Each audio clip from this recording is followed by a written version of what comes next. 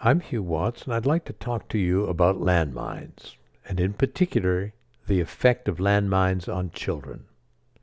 Landmines are remarkably cheap to buy, only about $3, but up to $1,000 to get rid of.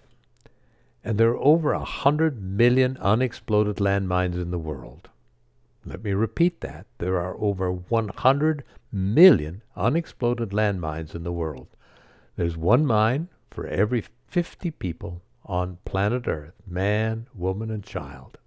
And for every landmine cleared, 20 more are laid. What do they look like? Well, they come in all different varieties, and let's look at some of them. Blast mines are activated when a victim steps on them. They're laid on the ground or up to a few centimeters below the earth, and when they explode, they drive fragments of mine casings, dirt, footwear, clothing up into the leg. And you can see that that's an ideal way to end up with an infection in the amputated uh, leg after the operation.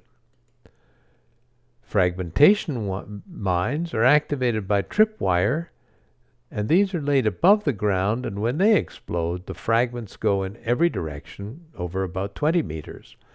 They're usually at a lower uh, height, and therefore the injuries are mostly amputations as they go from about knee level down.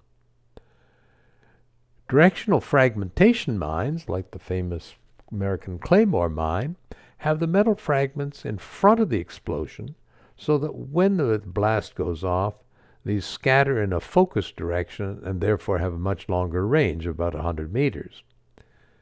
Bounding mines, like the famous Bouncing Betty, are buried under the surface, and when they're stepped on, a small explosion drives the mine up into the air, about a meter, and this is, pulls on a trip cord that sets off this main explosion, which occurs at mid body level, obviously resulting in much more major injury.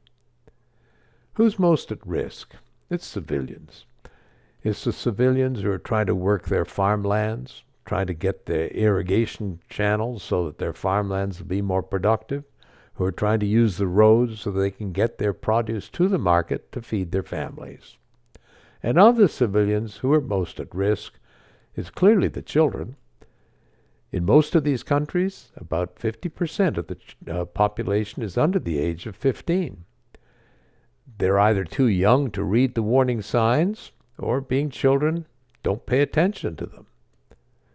And a blast at knee level for an adult may be at chest level for a child. So a child is much more likely to die from the blast.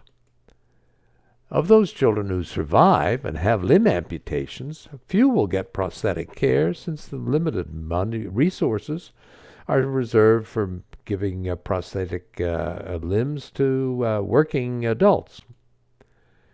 Children are naturally curious. The lower left, you see a, but a famous uh, butterfly mine, and these are dropped by helicopter by the thousands, even the tens of thousands and they're designed so they don't go off when they hit the earth, but only when they're picked up. Child sees them, look thinks that they're a play toy, and in doing so loses both its hands and may become blinded. Like this little boy to the right from Colombia, South America, who unfortunately picked up a butterfly mine and lost both his hands and is blinded. What can be done to stop the carnage? Become informed. If you yourself aren't informed, how can you spread the information? And if we don't spread the information, how's anything ever going to result? As physicians, we have a duty to speak up, and as orthopedic surgeons, we have an even greater responsibility to do so since we're more aware of the injuries that result from these and the great uh, difficulty which uh, such injuries may present to people. Thank you for watching.